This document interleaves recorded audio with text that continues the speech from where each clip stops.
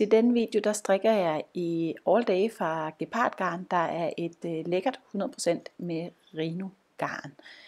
Og jeg skal vise en række øh, indtagninger. Og øh, vi skal jo finde, vi har, kender jo den, der peger til højre, der hedder to ret sammen. Så den laver jeg lige her. Jeg har øh, tre kantmasker, og så har jeg et ulige antal masker imellem. Sådan der, så har jeg strikket tre. Og så siger jeg hvad hedder det, to ret sammen her. Sådan der. Og den kan I se, den peger lige så fint til højre. Så siger jeg en ret.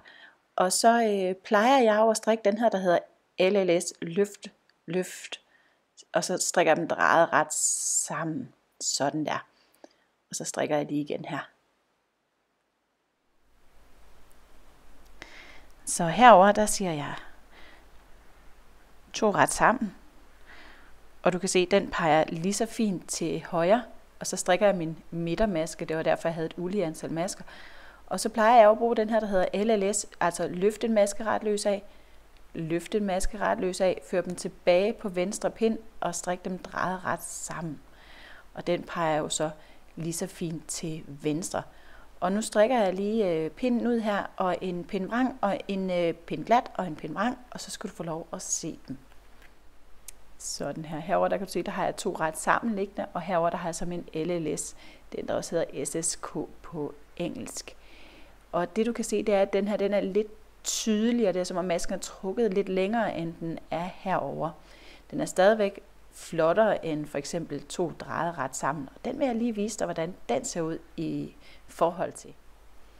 Jeg har strikket min to ret sammen herover, og så strikker jeg lige min drejet ret sammen. Det er jo altså her, hvor du går ind bagved her ind i to masker her bagved, og så strikker drejet ret sammen. Og så kan du se, den peger stadigvæk til venstre. Nu gør jeg det samme. Jeg strikker lige tre pinde, og så viser jeg dig, hvordan det ser ud. Sådan her. Herover der ligger de vores to ret sammen, og her der havde vi vores øh, LLS, altså Slip Slip Knit SSK, og her der har vi så øh, to drejet ret sammen helt almindeligt. Vi kan se, det er som om, den er bare meget mere tydelig end den her nede, men øh, ikke lige så pæn som to ret sammen. Og hvorfor skal man kunne to forskellige? Det er jo fordi to ret sammen, den peger til højre, og den anden her, den peger til venstre. Og nogle gange så har du brug for, at indtagningerne peger hver sin vej. Nu vil jeg så vise dig en mega genial en, som øh, Patty Lyons lige har delt på sin YouTube-kanal. Så jeg havde jo altså min helt almindelige hov, to ret sammen her. Og så har jeg min midtermaske. Og så kommer den nu her. Man stikker ind i første maske, som om man med strikke den ret. Beholder den på pinden, og det gør man altså ved at holde på den med tommelfingeren. Går man herom bagved, og så går man ind under masken her, og der holder jeg altså på masken med min pegefinger, for ligesom at komme ind i den, altså hjælpe den lidt med min negl. Nu er jeg inde i begge masker, og så strikker jeg igennem det her. Ups, sådan der. Og det er altså den der nye forbedrede slip slip knit, eller ny forbedrede LLS. Så nu øh, strikker jeg igen tre pinde, og så kan du se, hvad for en af de tre, du bedst kan lide. Her der har vi dem så. Og øh, som du kan se så hernede, de er stadigvæk ret pæne. Her der popper masken, den der er drejet ret lidt ud.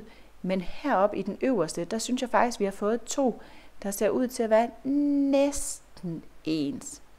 Ikke 100%, men næsten. Og for mig der er det vigtigt, at sådan to masker her, de kan være så ens som overhovedet muligt. Her til slut, så vil jeg lige vise dig, hvordan jeg strikker tre masker sammen, hvis jeg gerne vil have, at de skal være centreret. Det er lige lidt ekstra indtagningsguff. Sådan her. Nu kommer den. Det er altså en dobbeltcentreret øh, indtagning, fordi man tager to masker ind i stedet for bare en. Så jeg løfter to masker ret løs af sammen. Sådan der. Så strikker jeg en. Sådan. Og så trækker jeg over. Altså jeg tager begge de masker, jeg lige har strikket sammen, og trækker over. Så strikker jeg lige tre. Jeg giver øh, lige en enkelt pind, og så kan du øh, se den, for den kan man nemlig se rigtig hurtigt. Sådan her. Så har vi alle vores indtagninger. Og heroppe der har vi vores øh, dobbeltcentrerede indtagning, så det ligner sådan helt en øh, pyramide nu. Hvis man nu gerne vil have Lige nu der peger indtagningerne sådan ligesom ud af her fra midtermasken. Hvis man nu gerne vil have, at de skulle pege ind af, så lagde man selvfølgelig den venstre drejet, altså LLS, to drejet ret sammen.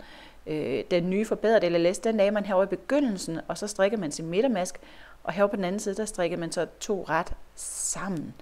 Men øh, det er jo smagsag, hvordan man kan lide det. Personligt kan jeg bedst lide det, peger ind mod midten.